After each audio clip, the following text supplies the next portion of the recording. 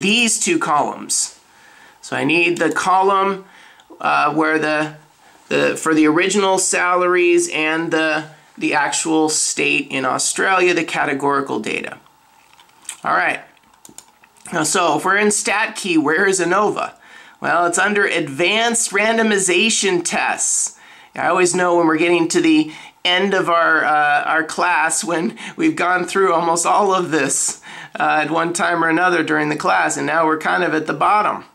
So here's our ANOVA, ANOVA for difference in means. Um, so that's the one we want. We're comparing mean averages, so we want the ANOVA for difference in means. So we're going to click on that. Now I want to, I want to go ahead and uh, paste my data in, so I'm going to go Edit Data.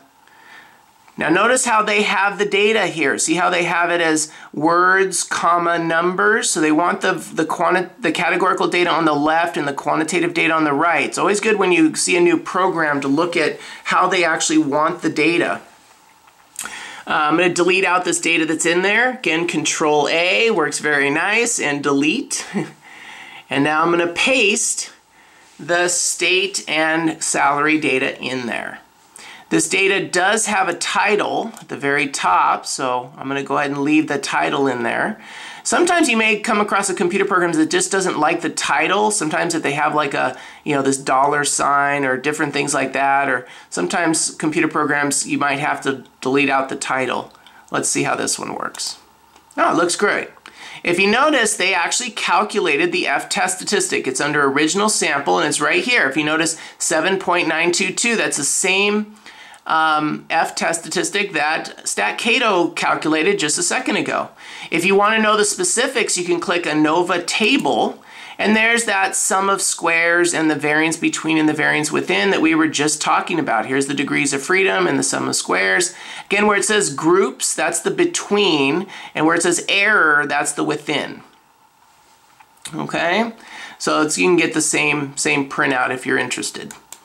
Now, again, the key is, though, how would I get the critical value, right? How would I know if this fell in the tail or not? There's actually a couple ways. I could actually look up the theoretical critical value from the F distribution curve in Stat, uh, in Stat um, Key. Um, but we're going to go ahead and use simulation, and I'll show you how to look up that, that critical value F um, critical value in a second.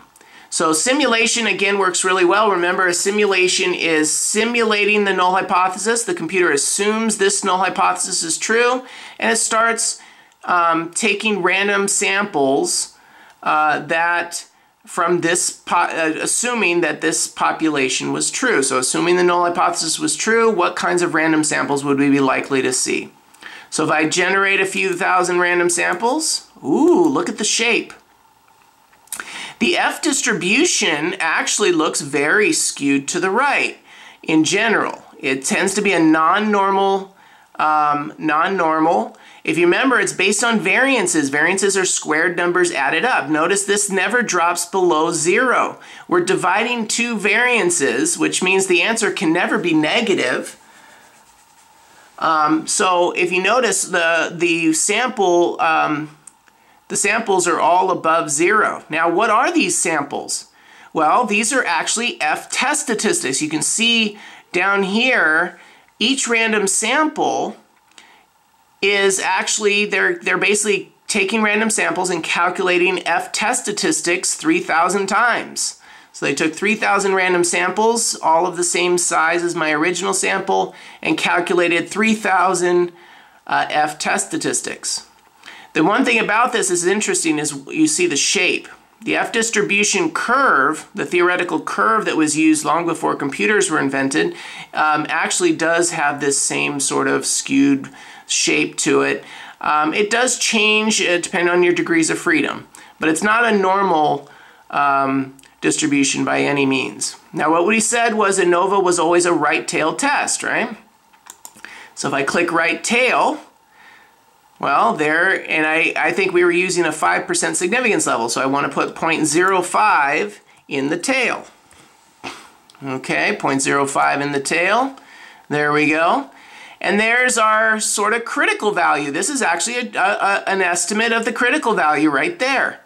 So the critical value is 2.43, not too far off from what StatCato got. Now the question is, is my original sample F, since it's simulating thousands of F test statistics, we're actually going to compare the F test statistic to this. So in other words, we're going very old school and kind of comparing the actual F test statistic to uh, the simulation. I shouldn't say it's old school. This is actually very cool. So, um, so 7.922 is way over here in the tail, right? It's way out here. So it's definitely in the right tail, so it's definitely significant. Now what about the p-value? What would be the p-value? Well, this is not the p-value. That's the significance level, 0.05. So the p-value is the probability that this original sample happened. Well, how do I sort of summarize all of that data? Well, the easiest way is with the test statistic itself. So what they're going to do now is put the F test statistic in this bottom box bound here, 7.922, and you'll get an approximate p-value. And we get it zero, right? Very, and again, we remember the StatCato one was written in scientific notation, but it was very, very close to zero. So we got a zero p-value. Okay, so this is how you do simulation a randomized simulation for an, a one-way ANOVA test. Now, if you did want to look up the theoretical, right, the theoretical um, critical value on ANOVA, you sometimes some computer programs actually do not give you the critical value. Um, you could look it up in StatKey. Let me show you. Um, so if you remember, under theoretical distributions, you can look up critical values. In fact, we've looked up critical values in the past for, for the z-score, the t-score, and chi-squared. Remember, normal was the z-score. And then here's f. So now f is going to ask you two things. It's going to ask you for the numerator degrees of freedom and the denominator degrees of freedom. So think, remember, the numerator is the between, right?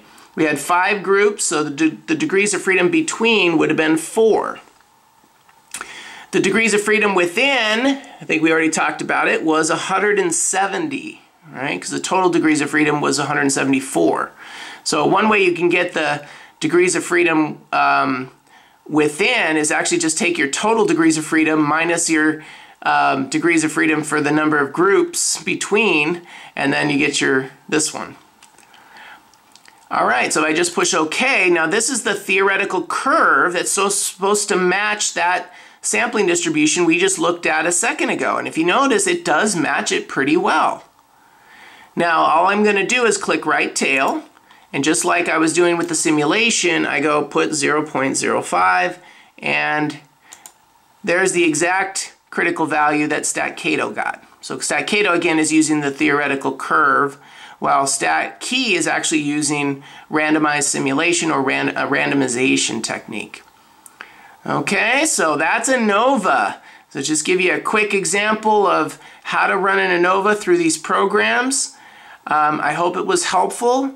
Again, this is Intro Stats with Matt Teachout, and uh, I will see you next time.